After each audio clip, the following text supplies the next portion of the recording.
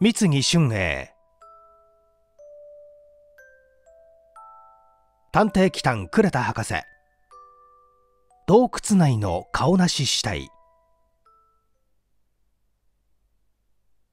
海岸県外の格闘。危険危険。かかとはすでにその淵へ。総州逗子の海岸一帯に11月の小春日和の暖かき日光を降り注ぎ病満たる相模湾の壁派緩く磯浜に巻きては綿摘みの微妙の音楽を囁いていたのが夕暮れ近くなるにつれ変わりやすき秋空に雨雲がはびこりでした。秀麗なる富士の姿も黒き天板のカーテンにかき消され七里ヶ浜あたりにしぐれの足のさっと白く駆けゆくのを眺めるのも心慌ただしい。その海岸の堀内から田越川の方へと通う王冠を浜の方へ外れて、白波の却下に下くる県外の上の細道を、今しも逗子の方へ歩いてゆく二人の男がある。二人とも中ブルの名船の羽織に、ガス糸混じりの絹物の合わせを着ている。年配はいずれも三十六七、背格好もちょうど同じくらい。四角な顔の目の少しくぼんだ要望まで似通っている。が、類似の点はそれだけにて、熟視すれば命名異なりたる特徴がある。一方の格子島の鳥打ち帽子をかむった男は、髪少し長く、額にシワが多く、血色優れず、総じて陰鬱な元気のない表情。手の指などに絵の具らしきものの染まった箇所があり、唇にも墨の跡のあるところより察すれば、田舎周りの画家などでもあろうか。もう一人の連れの男は、ネズミ色の中折れ帽子をかむり、黒っぽい街灯と洋傘等を手に持っている。この方は、油ぎったテラテラした活動的の顔色であるが、目が癒しく濁って、厚い唇のあたりに、杏仁貪欲らしい層をたたえている。まあ、田淵くん、見たまえ。あのおぼろの富士を背景にして、磯の松原をしぐれの過ぎてゆく系は、何とも言われんじゃないか。こう言いかけたのは、鳥打ちの男であった。いくら君が冷酷なアイスでも、こういう自然の景を見れば、やはり美しいとは思うだろう。ははは、職業柄のんきなことを言っていますね。冗談じゃない。皆木さん、私はこうブラブラしてはおられん体だ。今夜は横須賀へ行って、海軍の召喚連中のところを一回り催促して、明日の朝はどうでも早く東京へ帰らんけりゃなりません。なるほど、忙しいですね。だが、君の遅れたのは僕のせいじゃないよ。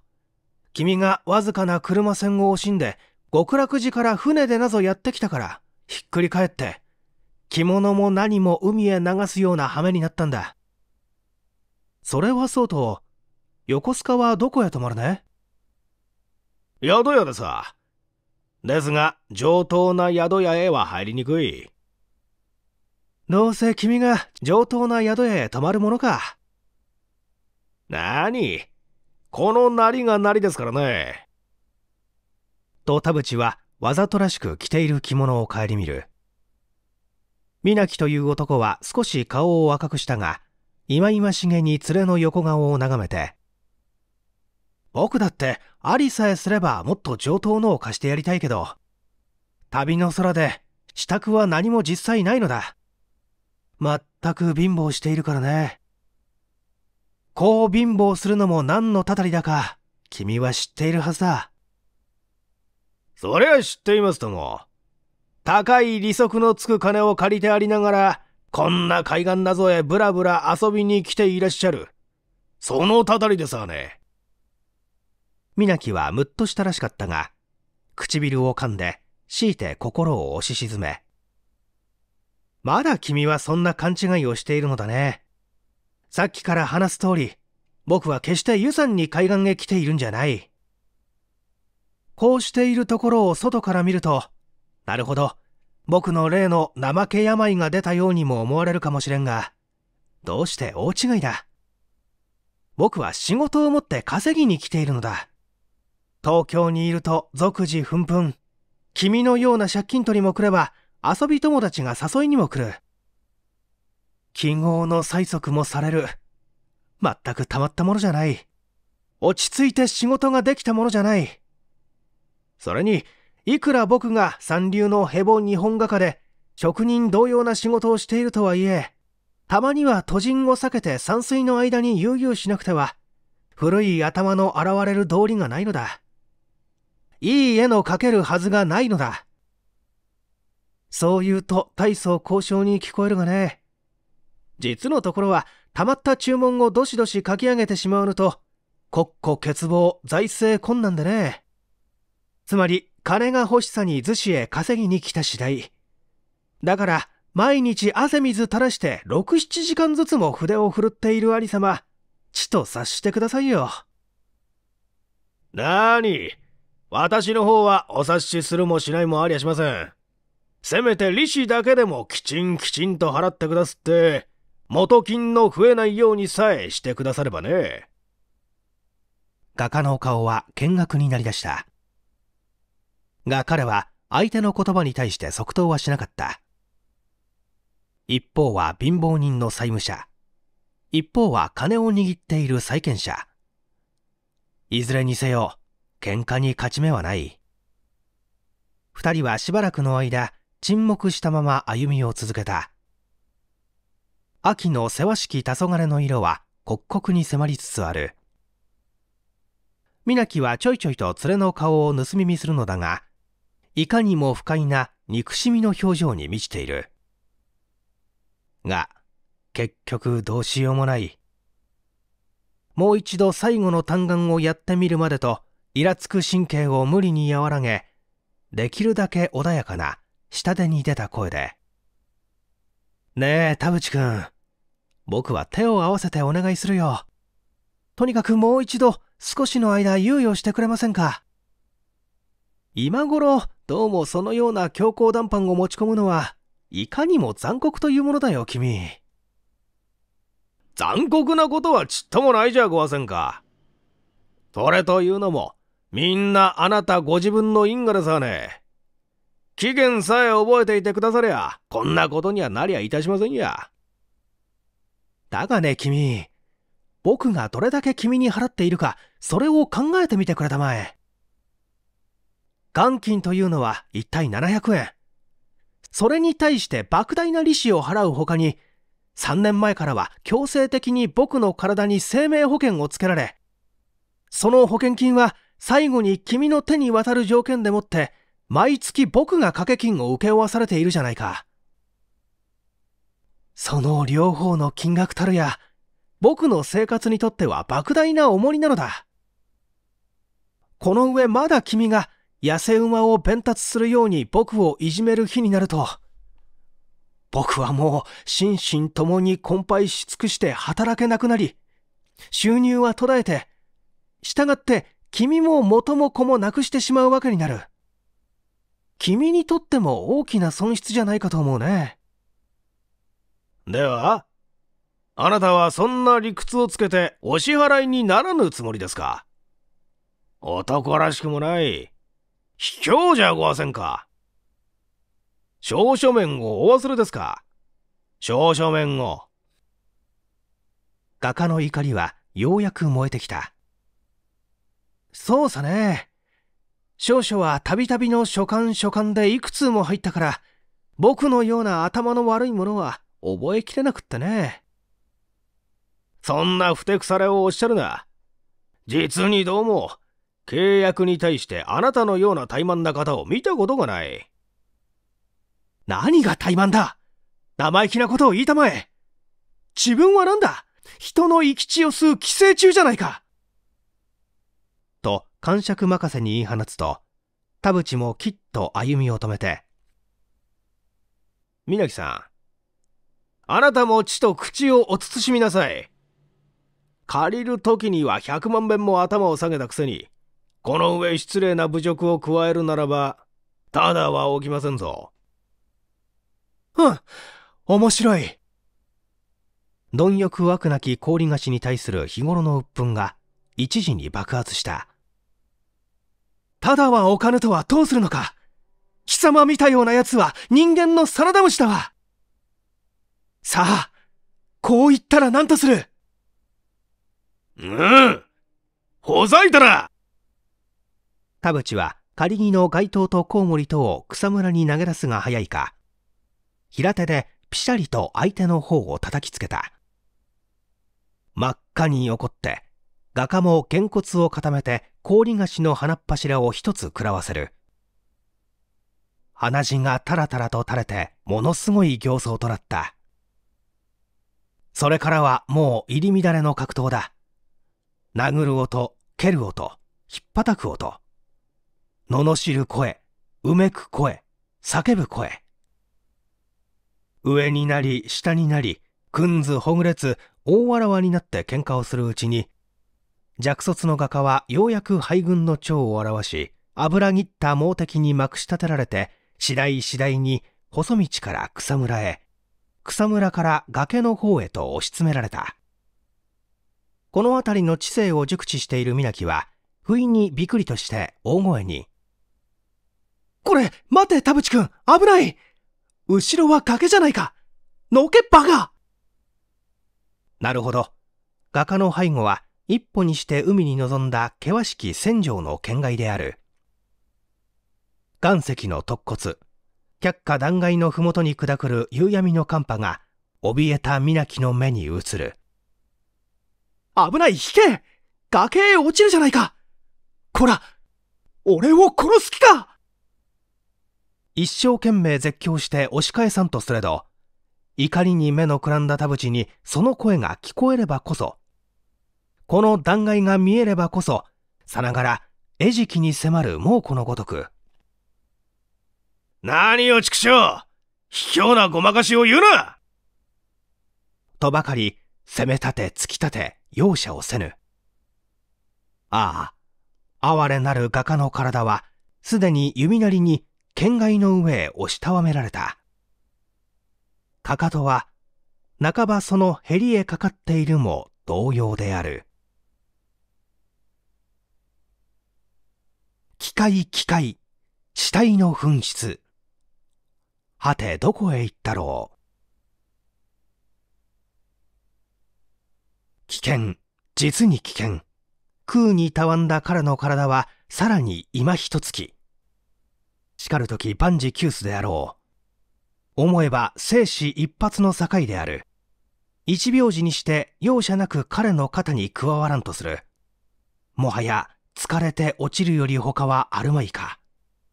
と思うとき、彼は死に物狂いで最後の一作を実行した。それは敵の手が今や下されんとする一説な、電光石火のごとく身を地上に伏せたのである。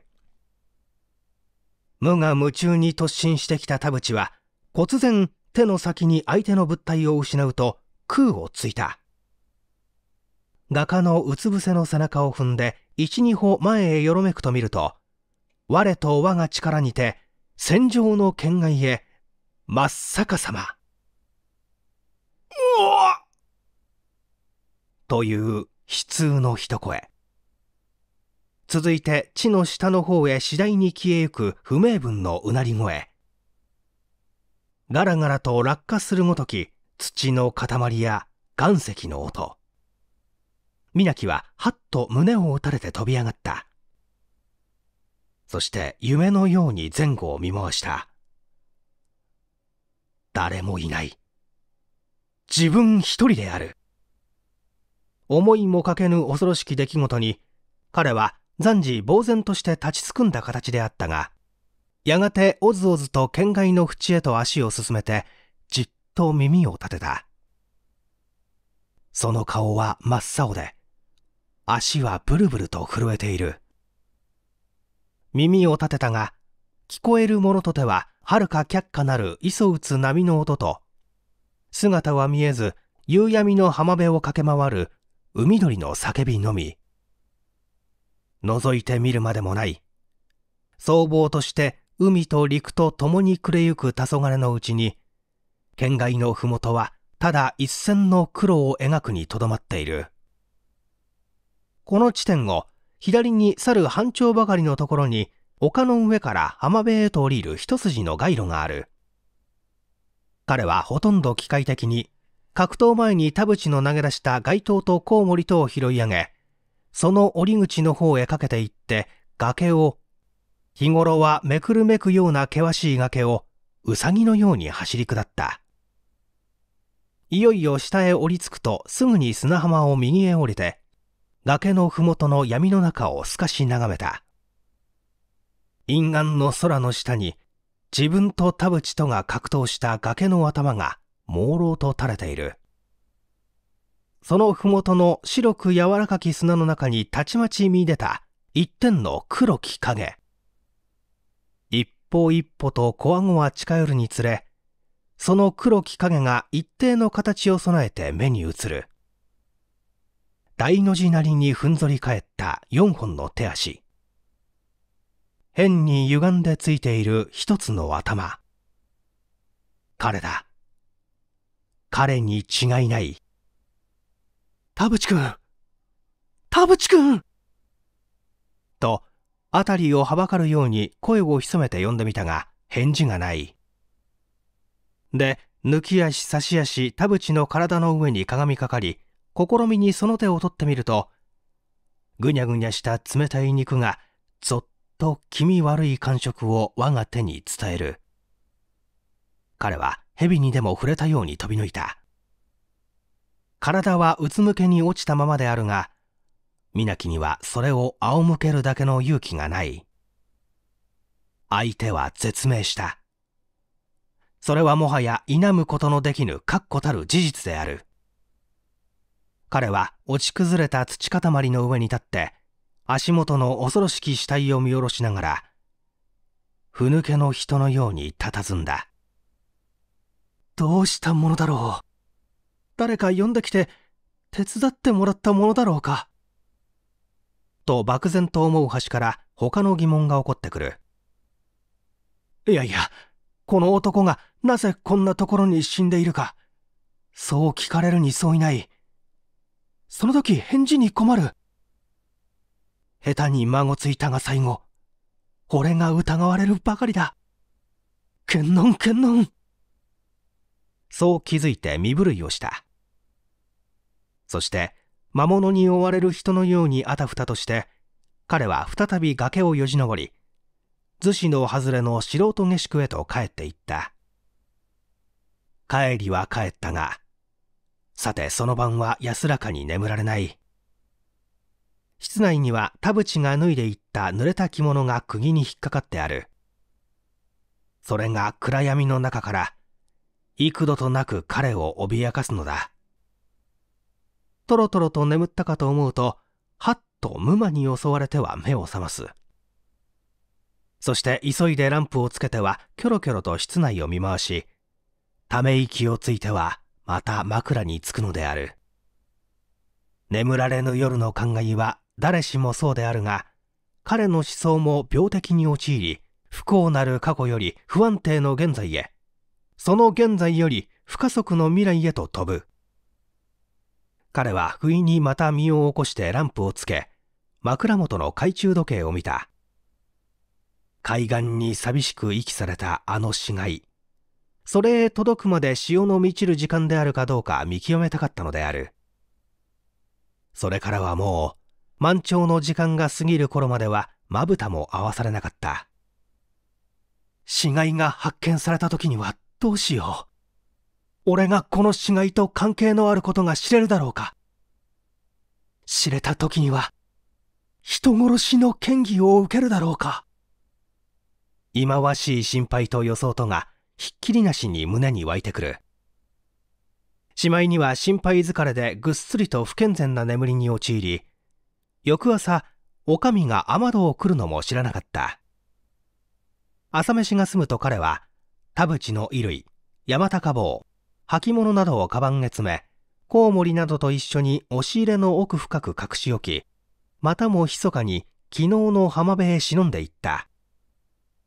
何の目的で忍び行くかは自分にも半然説明はできないが、ただあれが未だに元の場所にあるかどうかと見定めたいそういう不可抗の刺激が彼を海岸へ赴かせたのである崖の細道を折り尽くすと白く光った砂浜を北に折れて進んでいった。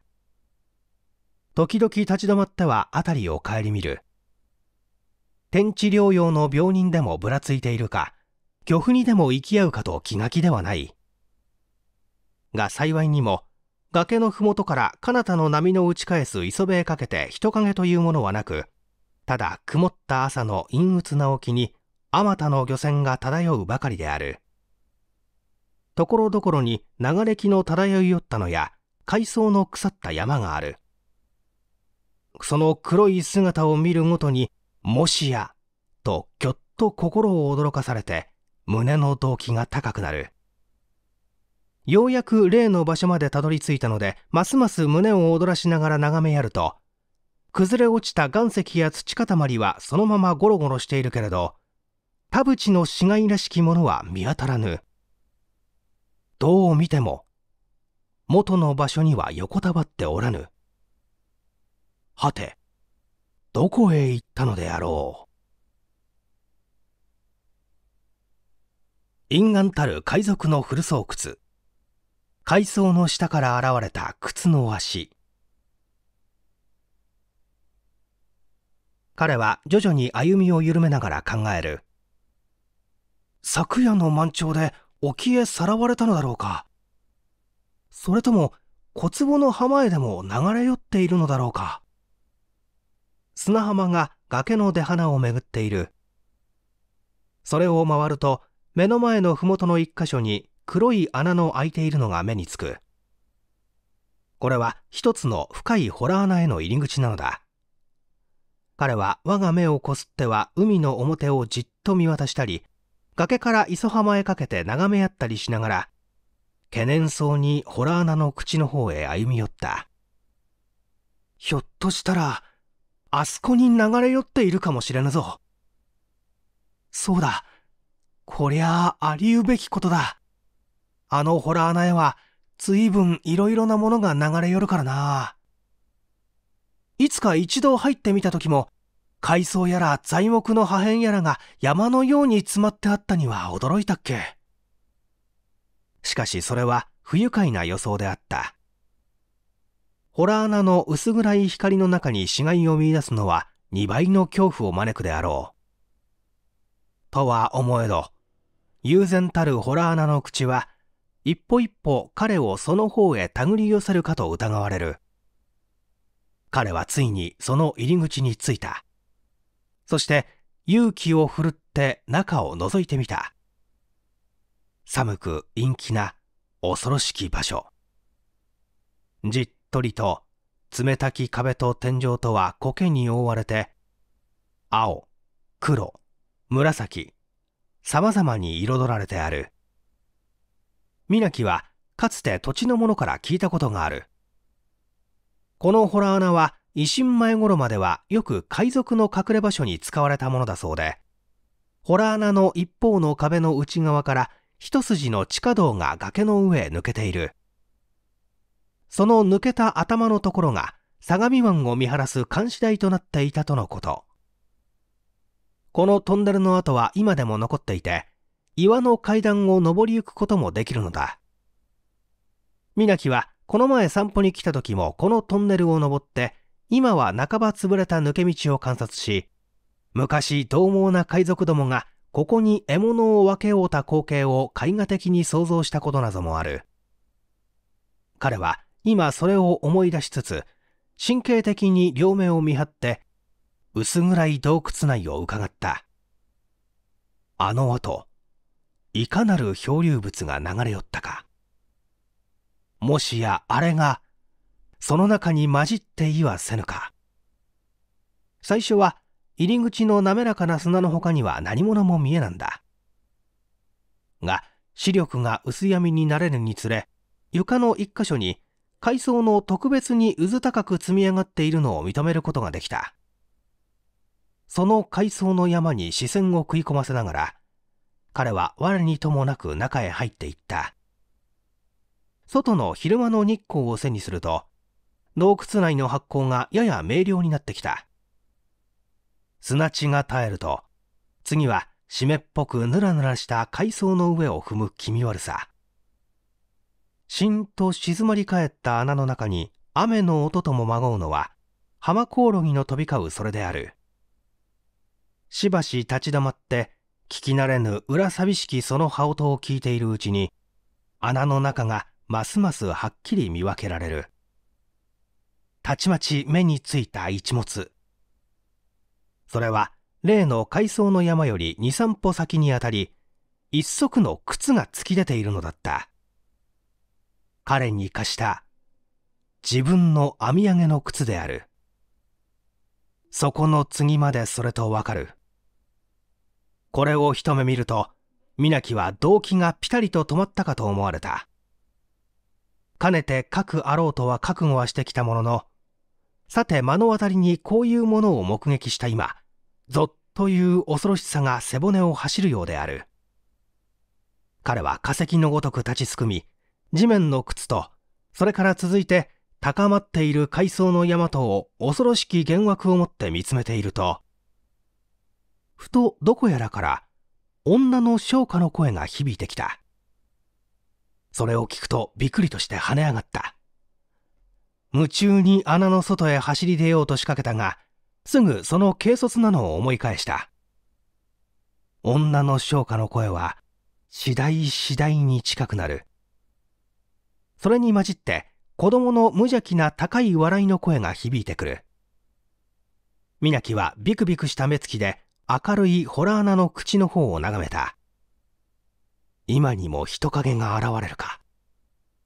現れたが最後もうおしまいだ死骸のそばに我が立っている現状を認められて、なんで言い訳が立とうか。ああ、そうだ。あの抜け道に隠れよう。急に思いついたのが、古いトンネルの足場。あれへ登れば入り口からは姿が見えぬはずである。彼は階層を蹴散らして慌てて壁の足場を登り始めた。一軒ほど登るとトンネルの口が始まるくぼみへと着いた。同時に反響してくる人間の小姉は女と子供とがいよいよホラー穴の入り口まで来たことを知らせた。耳をウサギのようにピンと立てて彼らの話し声を聞き取ろうとする。中まで入ってくるつもりだろうかどうだろうか。最初に子供の声が伝わってくる。高い小姉がうつろの岩屋の中のががたる岩壁に反響するのが、この場合誠にものすごい感じを誘う。ところで、子供の声は聞き取れぬが、女の方のは明瞭に到達する。おー、怖怖。そのお穴へ入るなんて。この中はね、寒くて湿っぽくて、お化けがいるの。そら、ね？ね？暗いでしょ？だから、なっちの明るい日の当たる波のそばへ行って、綺麗な貝殻拾いましょう。ね？いい子ね？彼はほっと一安心した。入ってくれぬのはありがたい。本当に女の言う通りだ。湿っぽくて薄ら寒くて、おまけに濡れた海藻の下には、あれが横たわっている。自分だって早く牢獄のようなこの隠れ家から広々とした浜辺へ出て新鮮な潮風を胸いっぱい吸うてみたい。が、迂闊に飛び出すわけにはいかぬ。たとえ過失であるとはいえ、現在の我が一たるや殺人犯に当たるべきものである。してみれば、海岸に人影の頼るまで待たねばならぬ。そして、密かにここを立ち去らねばならぬ。彼は用心しつつ、半ば潰れた足場の危ういフルトンネルをくぐり抜け、崖の上へ頭を現した。そこから海岸が眼下に見渡される。彼は失望した。遠足隊らしい女学生の群れと、海岸の空気を喜ぶ病人らしい男女とが、浜辺の底ここに散らばっている。ホラー穴の中を覗きに行く気配のものさえある。崖の上にも人通りがある。これではならぬ。まず当分逃走を辛抱せねばならぬ。で、しおしおとまた頭を引っ込めてトンネルを降り、元の壁のくぼみに帰り、なるべく奥深くしゃがみ込んで、またもや階層の下のものに考えを馳せる。一体あれはいつまで人目につかずあそこに横たわっているだろう。万一発見された時はどうなるだろう。死体と自分とはどのような関係を生じてくるだろう。無論あの着物は宿の女将の目にでも触れるとすぐ俺のものだということがわかる。とはいうものの、俺は罪を犯したわけではない。昨べの喧嘩の始末をありのままに説明しさえすれば、誰だって俺を責めるものはないはずだ。しかしながら、この説明はすでに遅い。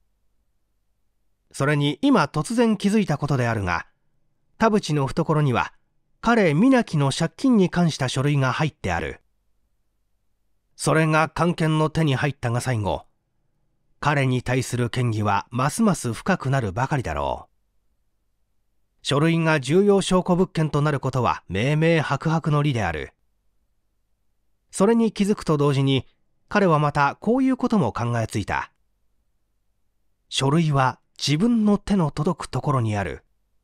なんでそれをしも取り上げずして、我と我が身を深みに落とす愚かなことがあろうか。戦慄すべき顔なし死体。思いつきたる巧妙な奇形。そろそろと彼は身を起こして再びトンネルを這い登り崖の上下を見回した。丘の上には人影がしばし途絶えたところ。そして浜辺にも男女の群れが去ってただ一人の痩せギスの男が彼方の岩に腰掛けて海に向かい読書のさなか。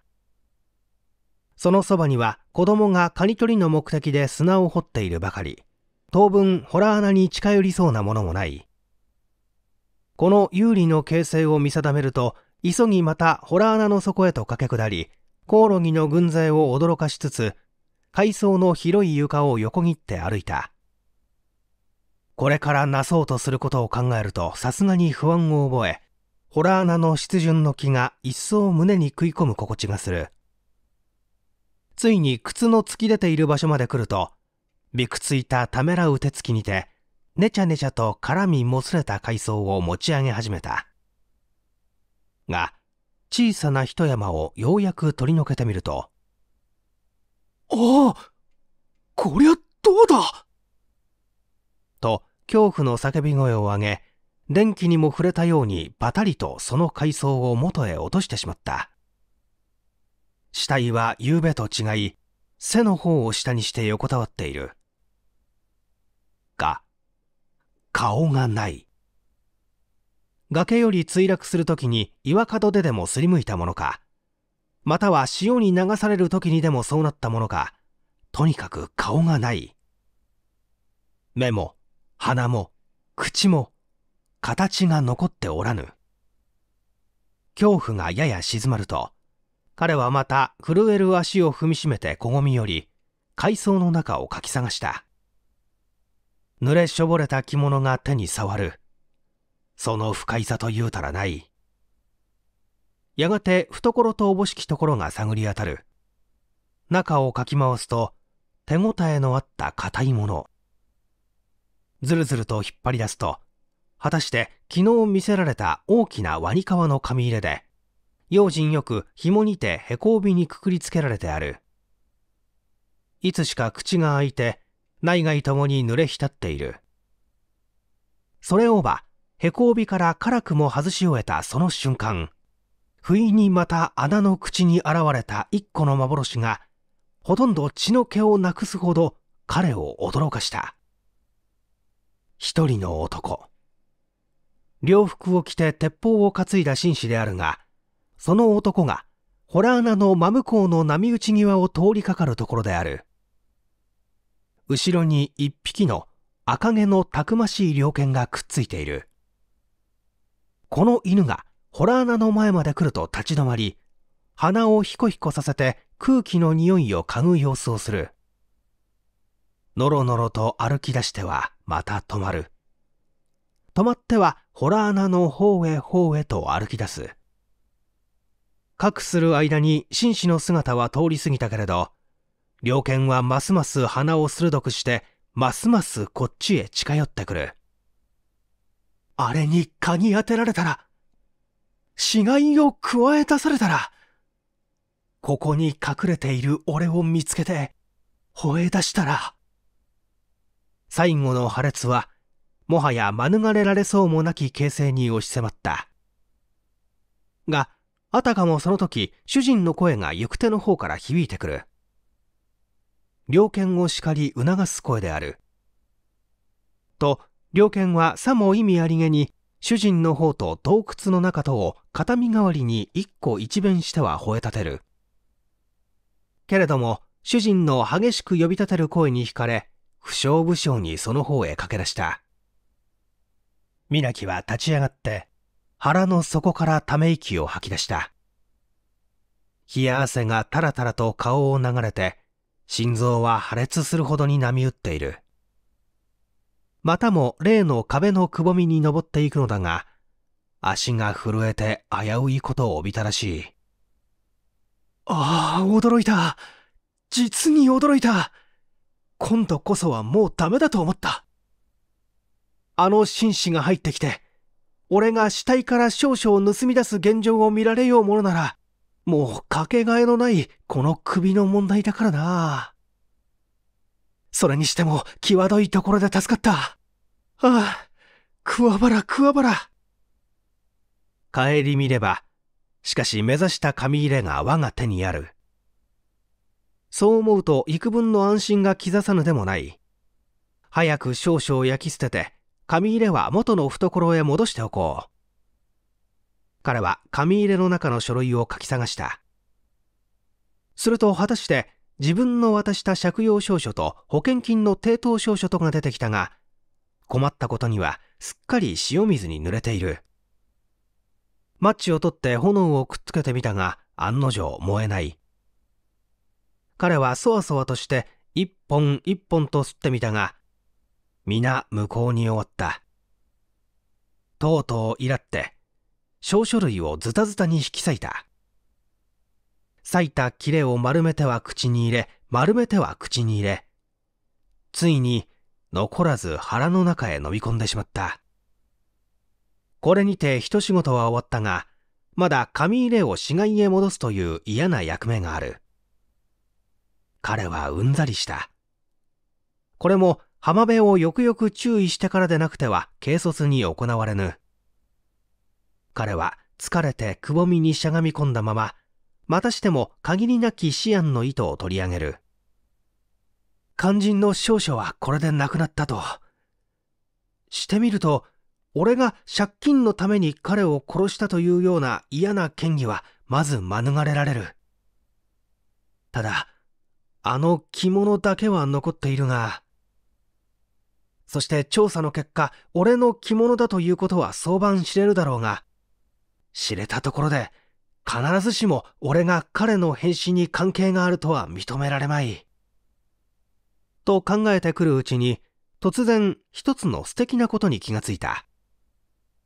あの死骸の何者であるかということを誰が見分けられる？顔がないじゃないか。顔が。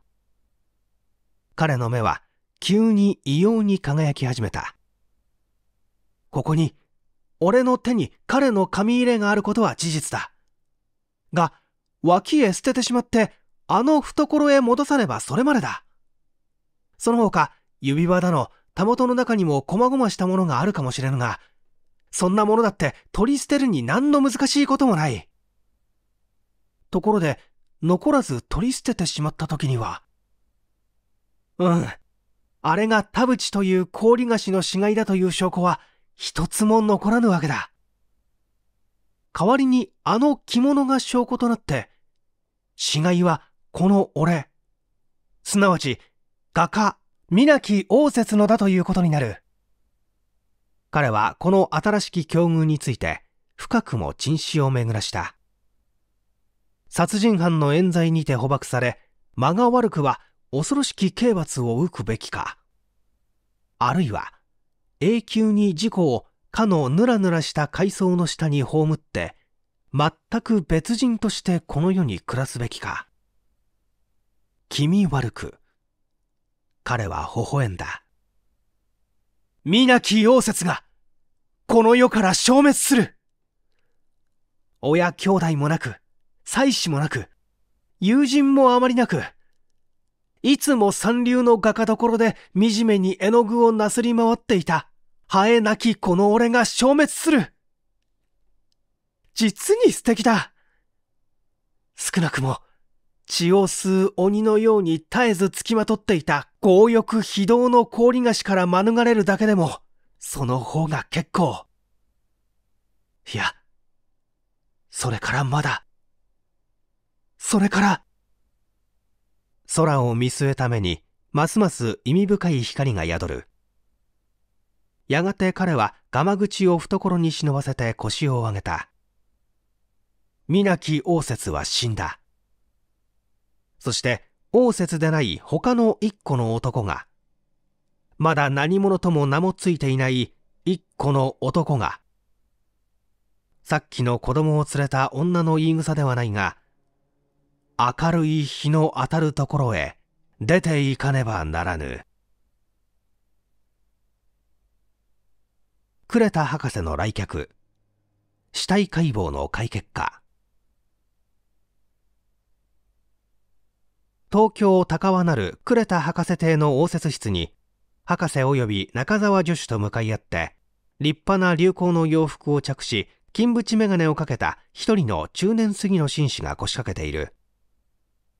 これは今しも博士を訪問してきた、広告生命保険会社社長、前泉誠一という人で、博士指定とは一、二回の面識ある間柄である。ええ。今日お伺いいたしましたのは、日東火災生命保険の塚谷社長は、私の友人でございましてな。塚谷君が先頃有名な家中の骸骨の事件で、先生のお腕前を拝借いたし、災難を逃れたのを思い出しまして、急にお伺いいたしたような次第でして、実は私の方にも、一つ非保険人の問題につきけしからぬ事件が生じましたので、それにつき、ぜひともご貢献を承りたいと存ずるのでございます。何それも私どもの目から見ますれば、さしたる不思議も認められるのでございますが、何分、医師の方で少し疑念を挟むことが起こりましたので。なるほど。とにかく、どのような事件であるか、お話を伺いましょう。と博士が落ち着いた声で尋ねた。大体は火曜でございます。先月の24日のことでございますが、総州逗子にある天産肥料会社の妊婦どもが、堀内と申す部落から北に向かった崖下の海岸で海藻をかき集めておりますと、古いホラー穴の中の海藻の山の下に、ふと一人の男の死骸を発見いたしました。で、大騒ぎとなって逗子の警察へ届け出ますと、早速係官が出張し取り調べの結果、死骸は皆木応接と申すものであることが分かりました。それは、たもとの中に濡れて残っていた名刺一二通の彼に宛てた手紙などにて分かりましたが、なお、お手紙の封筒の宿よりして、彼が逗子の南外れの片山太と申すばあさんの営む素人下宿に滞在していたことが知れ、よって道家につき取り調べますると、皆木と申すのは、夏頃より道家の離れ座敷を借りていた絵描きでありましたそうで、実は4日ほど以前から行方不明になっていたと申し立てに、かの死骸を実験させますと、着衣によって直ちにそのものに相違ないことを証言いたしました。これで死人の素性だけは知れましたが、さてしからば、どうして彼の死体がホラー穴の中に横たわっていたかと申しますのに、これもあまり難しい問題ではございません。と申しますのは、何らかの非常なる打撃のために頸部が折れ砕け、かつ顔面がめちゃくちゃにすりむけて、人相も見分けられぬほどの惨状を呈しておりますが、一方、そのホラー穴を南に、去る半丁ほどの崖の縁からかけて麓に至るまで、岩石、土塊が崩壊した跡が半然と残っております。この両事実をもってみますれば、彼皆木と申す絵描きは、誤って見学な崖の頂上より、麓の磯に転落したに相違ない。この両事実をもってみますれば、彼皆木と申す絵描きは、誤って堅素な崖の頂上より、麓の磯に転落したに相違ない。崖の高さはおよそ150尺。それに折れた首、砕けた顔面等よりして、誰しもその死因を推測するに固くはございません。この点では、中澤先生なども多分ご依存が終わりになりますまいと存じますが。さようですな。まず首の折れたのが死因となったのかもしれませんな。無論、それにそういないと私も思いました。ところが、検視の章にあたりました小平と申すドクトルが、なかなか綿密な厳重な人でしてな。死体解剖を経た上でなければ死因を断定することができぬと主張いたし、そこで解剖に付することになりました。私などの考えでは、このような明白な兆候のある死体に対して、何も面倒な解剖までする必要はないと思ったのでありますが、先生、いかがなものでございましょう？さようではございませんか。博士は頭を振り。いいな。一概にそうは申されますまい。例えば、人間一人を崖から突き落とすにしてからが、普通の健康状態の時よりは、これを麻痺さするか、もしくは毒物を飲ませた時の方が容易ですからな。ことに、死体がそのように惨状を呈していればいるほど、かえって他殺の証跡を大腕とする手段でないかとも疑えば疑われます。なるほど。それもご通りなお説。小平ドクトルの考えも多分そこでございましたでしょう。とにかくそのようなわけで、いよいよ解剖を行いましたところ、意外にも少し期待な発見が得られました。何かと申しますれば、死人は胸部に動脈瘤の疾病があって、それが破裂していたことでございます。破裂は明らかに生前に起こったものでありますゆえ、そういたしますと死因がまたもや不明になってまいりました。彼は動脈瘤破裂の結果崖から墜落したのであるか、または崖から墜落したためにその破裂をきたしたものであるか。これが断定できません。まあ、それはいずれにせよ私どもに関係したことではありませんが、ただ期待に思われますのは、比較的近頃保険に加入しました彼が、なぜに動脈瘤などの疾病を持っていたか、その点でございます。すると、その皆きなる画家は、あなたの会社の非保険人ですな。そこで死亡についてもはや、そこで死亡について、もはや保険金をお払いなすったか。と博士が聞いた。どうしまして、まだ払いませぬとも。先生のご意見を伺いませぬうちは支払うことができませぬ。それにです。もう一つ支払いを延期いたしておる理由は、皆木は私の会社と契約いたした保険金契約証書を東京の田淵と申す氷菓子へ抵当に入れてありましたそうで、この度債権者田淵から、いや、田淵の手代、千村半蔵なる者より、皆木の保険金請求書が出ているのでございます。この田淵と申す金貸しは、従来も二三度、私の会社とそのような問題で関係いたしたこともありますが、いつも彼自身で出頭してまいりました。かつ、氷菓子をするくらいですから、申すまでもなく、狡猾な油断のならぬ男です。今回の保険料も私の方で支払うとしましたところで、彼自身の面前で彼の調印がなければ、迂闊には渡されませぬ。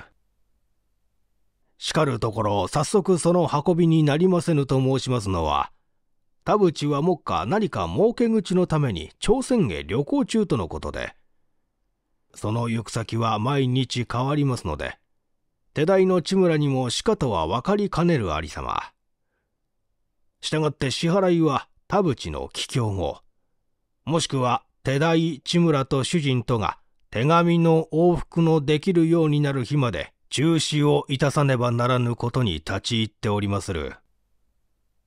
前泉社長の説明は大体これで終わりを告げた。社長は10時までに契約ある他の用務機を思い出し、懐中時計を見てその時間の迫れるを知ったので、皆木に関する書類、保険証券抵当証書等に至るまで一切のものを呉田博士に提供し、よろしく博士の判断を請うた上で実施去った。博士の発見せし疑問七か条。祭理の慶願、合口のごとし。客の立ち去るや否や、博士は中沢助手を従えて書斎に戻り、前泉社長の託しゆいた書類を必要の順序に応じて分類し整理した。まず最初に保険申込書をざっと別件し、次に検視の任にあたったドクトルの死亡診断書を取り上げた。診断書はすこぶる精密に、かつ完全に出来上がっておる。食卓医もなかなか綿密に検診したと見るわい。と博士がそれを読みながら言う。死人が明らかに崖から墜落したものとしますと、医学史の検案はさして必要でもありますまいな。むしろ、そのものがなぜ墜落するに至ったかということが主要な問題になってまいりましょう。と中澤助手が言った。それは無論の話である。けれども、この診断書にも少し不思議な点が含まれておるよ。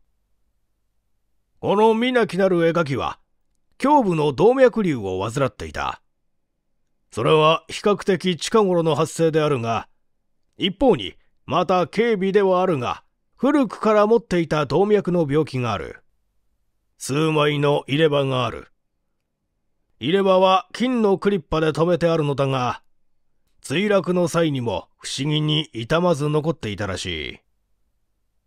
してみると中沢君、これが不思議ではないか。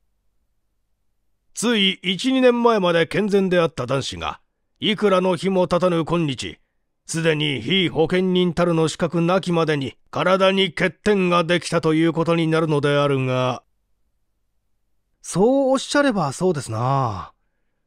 一体、保険会社の診断書には何とありましょう？と、助手が書類を手に取ってみる。それによってみれば、非保険者の心臓は強健、死がは完全であって、なお最後の適用の部を閲覧するに、申し込み人は完全無欠の健康体を有し、何ら診断上の欠点を発見せず、ただ、左手の第三子第一関節が関節硬直に陥りあるを見るのみ。子は本人の説明によれば、怪我の結果なりという。とある。小声にて読んでいたのをじっと聞いていた博士は、急に顔を上げ。え？どの指が硬直に陥っていると？左手の第三子です。博士は、手に持った書類の上に思案に満ちた視線を投げながら、すこぶるおかしい。この死体検案書で見ると、左手の第三子には指輪がはめてあるとある。関節硬直のある指へ指輪をはめるとは合点がいかぬ。はめられそうもないことじゃ。指を間違ったのではないですか？でなければ保険医の方で間違ったか。あるいはそのような間違いもあろう。けれどもじゃ、保健上の見地からはあまり必要でないにもかかわらず、硬直症状を保健医が発見して記録してあるに、変死体の死体解剖を行った綿密なドクトルがそれを逸するというのは怪しからぬことではないか。顔面がめちゃくちゃになっていて、本人の識別が困難な場合になぞは、分けてもそのような特徴に注意するのが肝心であるのに。なるほど。その疑問ももっともですな。指定は、なお熱心に書類の閲読に時を費やした。しばらくすると博士は書類を膝の上に置いたままじっと上目をして、虚しき壁の表を見つめる。何か面白い点にお気づきですか？先生。という助手の方へ書類を差し出して、博士は、まあ、一通り目を通してごらん。わしはこの書類の中から少しばかり肝心な要点を拾い集めてみた。誠に零細なクズのみであるかもしれぬが、しかし、それらを合わせてみたならば、一個の重要な発見をなすかとも思う。いいかね？わしはまず、次のような七箇条の疑問を挙げる。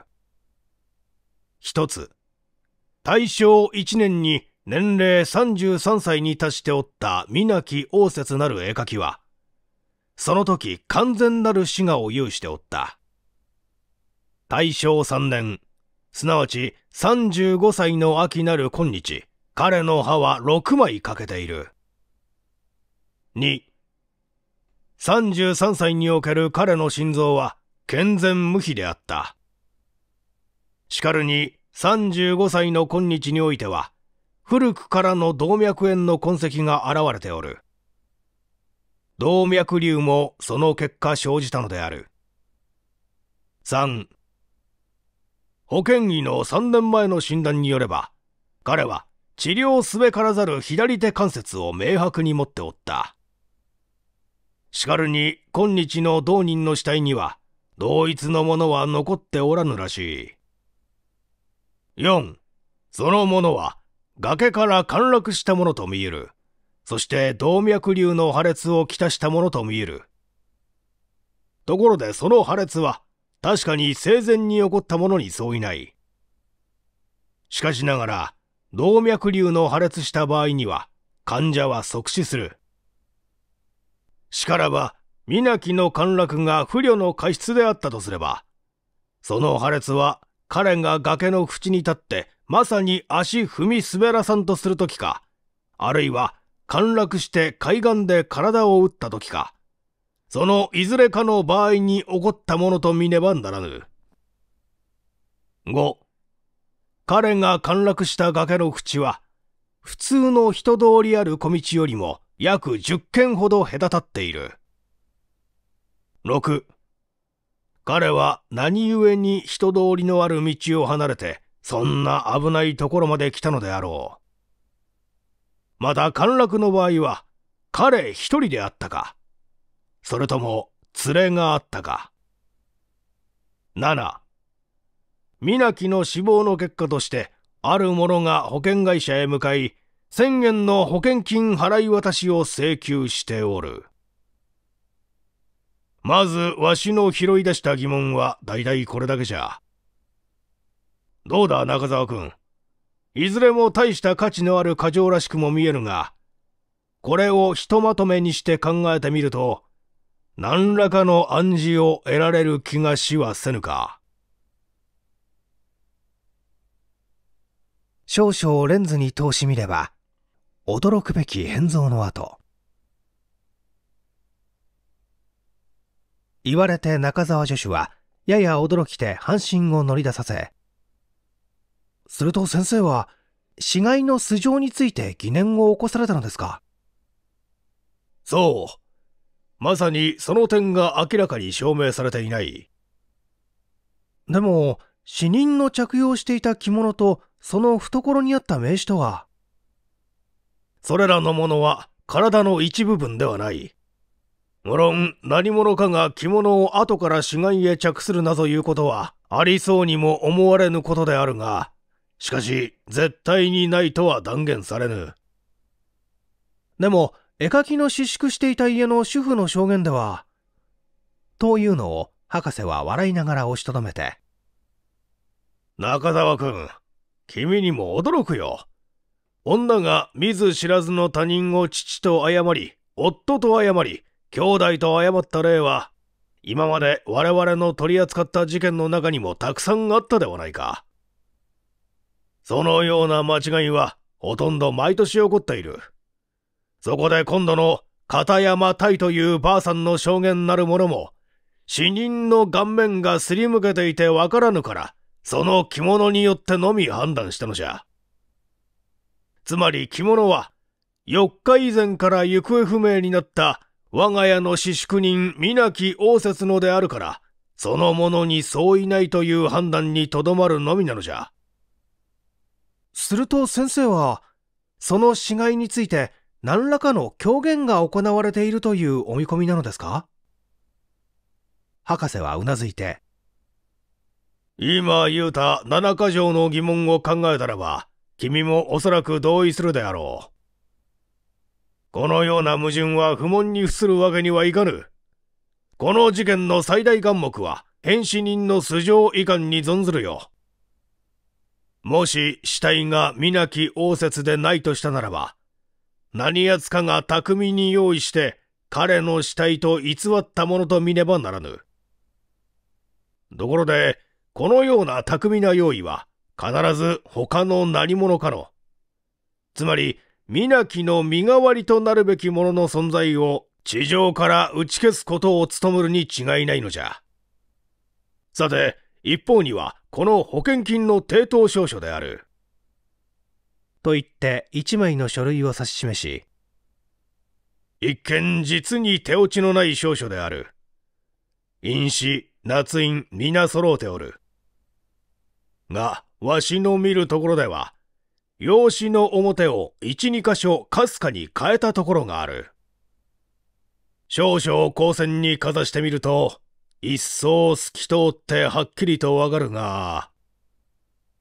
と博士は懐中レンズを取り出して数秒間それを透かし眺めていたが、やがてレンズと少書とを助手の方に差し出し、中澤君、まあ調べてみたまえ。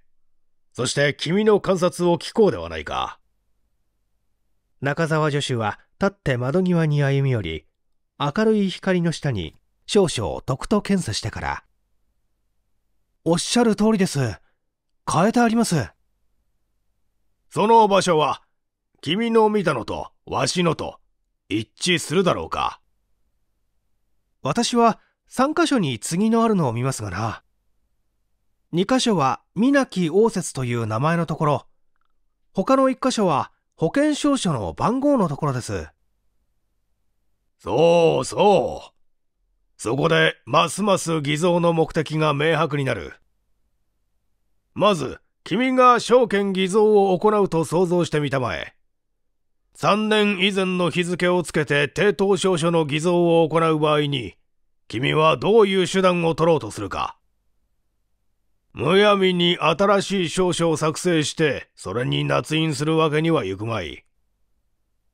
なぜといえば、交渉役場の捺印と日付が違うから、容易に偽造たることを発見される憂いがある。しからばやはり正当に捺印ある古い証書を得て、その名前及び番号を偽造するより他には仕方がないではないか。ところで、今回の事件に行われた偽造方法が、まさにその通りなのじゃ。それにしても、名前と番号だけの偽造で通用するような都合のいい証書を手に入れたのは、犯人にとっては幸せであったというわけですね。何？それはわけはない。普通、金貸しなぞと申す者は、この種の証書はたくさん持っておるものじゃ。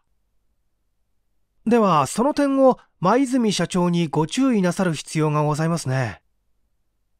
無論、注意してやらねばならぬが、それよりもわしの考えでは、第一にまず、田淵という金貸しの手代、千村半蔵を訪問するのが肝心じゃ。君の気づいたごとく、この事件の中には、実に不可思議なる疑点が存在しておる。そして、この証書が我々の推定通り事実偽造であるとすれば、手代千村なる者の行動は、本事件に向かって特別の解決を与うる有力な材料となろうと思うのじゃ。博士は懐中時計を眺むること数分の後、では、早速出かけようではないか。とにかくこの事件は、よるべき根拠がないからなかなか難しいかもしれぬ。君も同行するか？お供いたしましょう。指定は、打ち連れて博士の家を出かけた。手代の顔はさっと変わった。博士の追求巧妙を極む。麹町飯田町のお堀端の丘に沿った片側町に、一軒の小さな二階建ての家がある。目のかすんだばあさんが一人で留守居をしているが、これぞ田淵の事務所であって、独身の彼は、牛込の多くの粗末な下宿屋から、この便利な事務所へ出張しては、金貸しの営業を行っていたのであった。呉田博士と中沢助手との両人は、この家の2階にて初めて手代千村半蔵に面会した。千村は竹低く、青白く、油っぽき顔を持ち、眉毛濃く、髪長く、鼻の大きい男である。座が定まると、博士は真っ先にこう聞いた。あなたが田淵さんですか？出し抜けに言われて、手代は少しどぎまぎしたが。いいえ、私は田淵の手代、千村と申すものであります。が、どのようなご用でございますか？商売上のことなれば、多分私が承っておいてよろしゅうございますが。ああ、さようですか。では申し上げるが、実は今日伺ったのは、皆木応接という人と広告生命保険会社との関係につき、二三のご質問したいことがあって参ったので。千村の態度はにわかに変わった。彼はせかせかと書類をひっくり返したり、デスクの引き出しを抜いたり刺したりして、なんとなく不安な挙動を示し始めた。そして、荒っぽい声で、広告生命保険であなた方をお使わしになったのですか？いや、特別に委託を受けて参ったわけではないのです。では、一体どのようなご主意でおいでくださったのですか？どうぞはっきりとおっしゃっていただきたいものですな。私はこれでなかなか多忙な体ですから。よろしい。ではいっそ会社から公然の委任状を持って改めて伺いましょう。と席を立とうとすると、千村は慌てて押しとどめて。まあ、お待ちください。全体あなた方はどなたでいらっしゃいましょう？呉田博士は中沢助手のと合わせて2枚の名刺を差し出した。それを見ると、千村の顔はさっと総味を加えて、肉が引き締まった。胸の騒ぎを鎮めようとする声で、お名前はかねて承っております。何なりとお尋ねの儀を伺いましょう。まず第一にお問いしたいのは、田淵さんは目下いずこにいられますか？朝鮮へ旅行中とのみで、毎日の行く先は存じません。なるほど。では次にお問いしたいのは、あなたが広告声明へお差し出しであったこの請求は、支払わるべきものとお考えですか？そう考えなくて差し出すはずはございません。それもそうじゃ。さらば第三のお尋ねは、この抵当証書は、その目的にかなったように作成されてあるとお考えですか？どうですか？それは、何とも私から申し上げられません。それは、私が雇われた以前からできていた証書でありますから。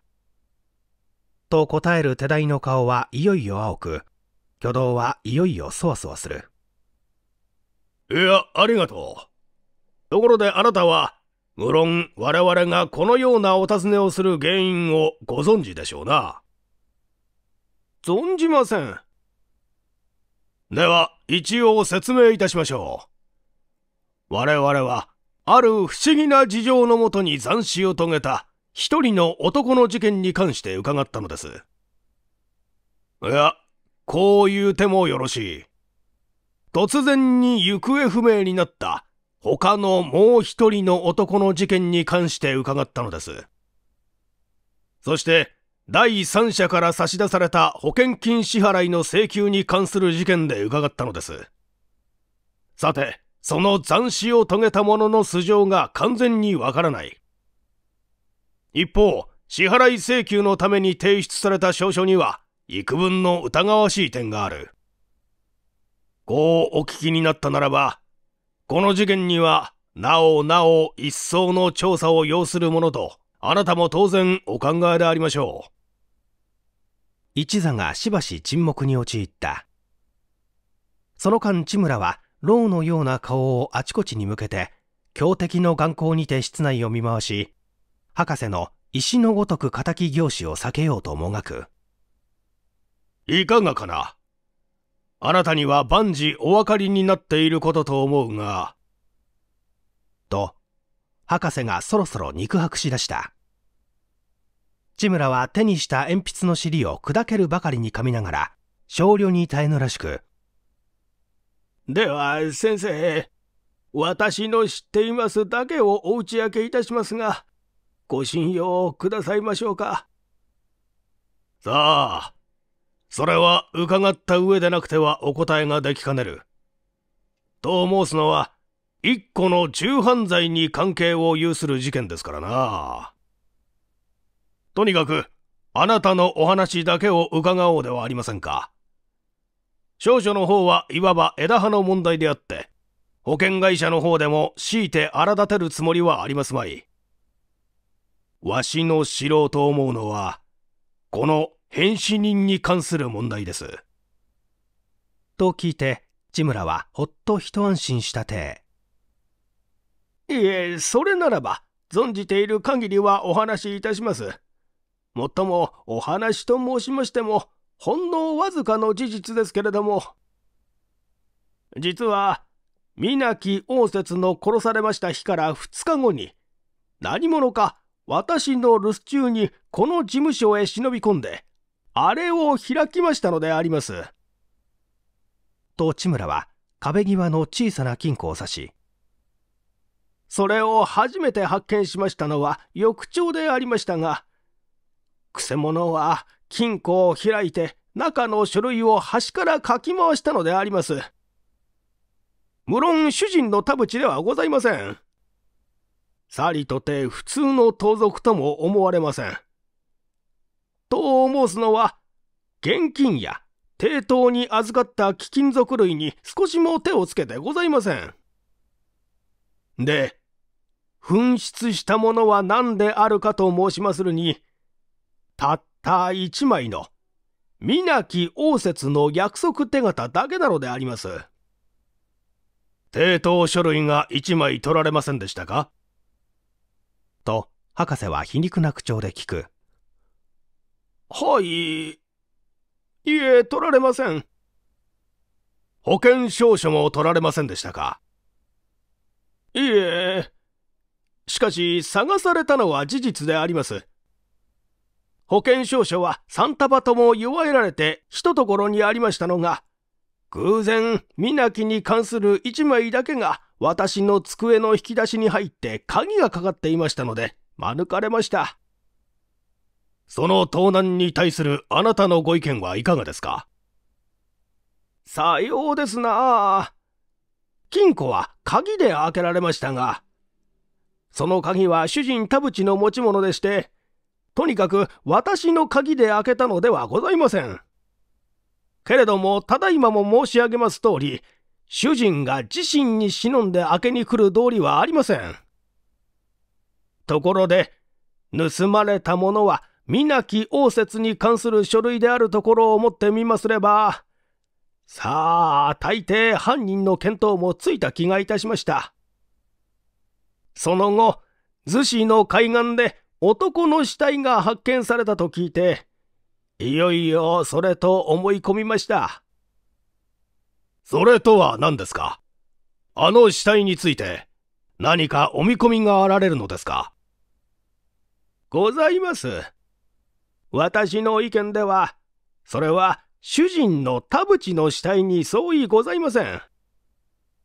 日頃田淵が貸金のことで皆木をいじめたものですから、皆木からの復讐として田淵を崖の上から突き落とし、自分の着物を死体に着せて自分が死んだように見せかけ、密かに東京へ忍んできて、保険金を受け取るために、ここへ少々盗みに入ったものではありますまいか。千村の推測は当たっていた。逗子海岸の変死死体をさらに警察にて発掘して調査した結果、それは田淵であることが文明になった。皆木応接の行方については検証探索が行われた。されども、ついに知れなかった。その後、上海の消印ある一封の手紙が博士のもとに届いた。それには田淵の変死についてもっともらしい報告がしてあった。田淵が逗子にて、皆木の衣服を拝借している最中に、偶然崖から陥落せねばならぬ運命に立ち至ったことが述べてあった。この報告の真偽はとにあれ、皆木応接なる画家は、その頃より永久に日本内地に見られなくなったことは事実である。しかして、田淵の手代と称する千村半蔵の姿も、東京には全く見られなくなった。